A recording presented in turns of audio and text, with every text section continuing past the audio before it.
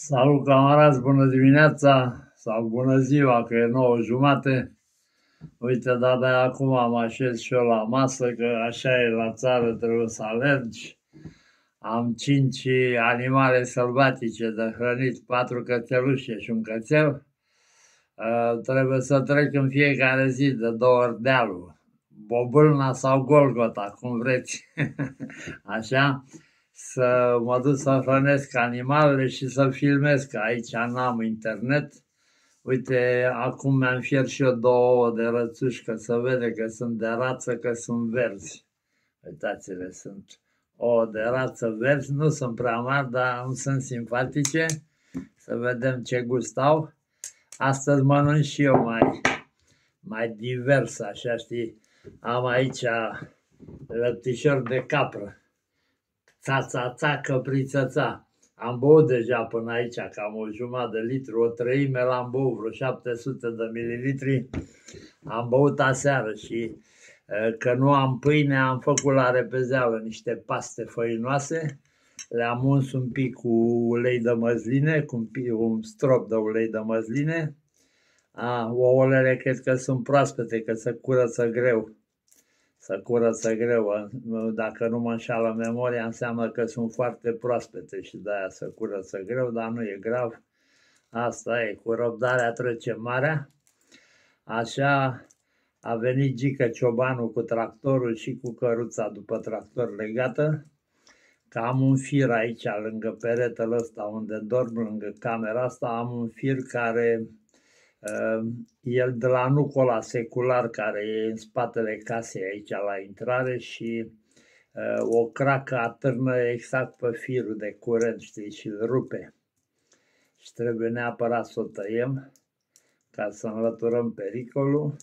Scăpăm de o grijă că dacă rupe ăla și dărâmă și consola, ehm, alți bani, altă distracție, știți?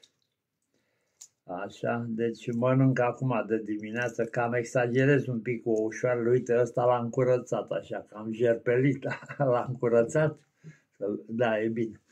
Acum să-l cură și pe al doilea.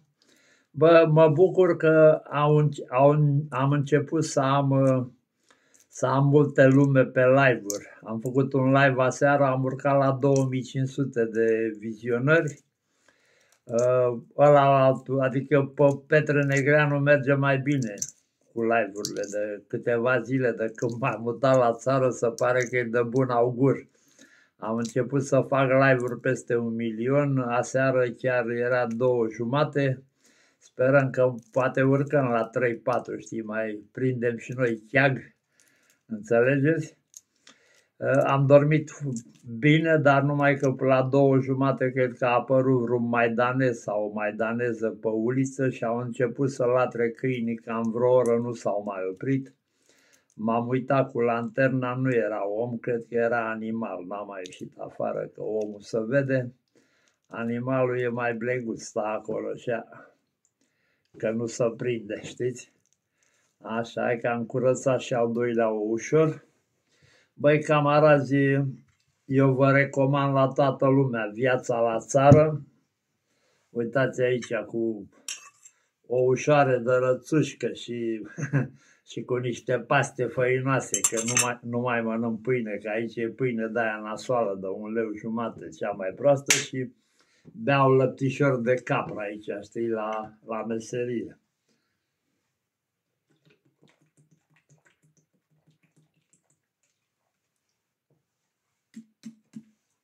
Laptele de, ca, de capră te scoală din coșciuc. 100%. E beton. E beton. Stai că mi-a căzut capacul pe aici pe jos.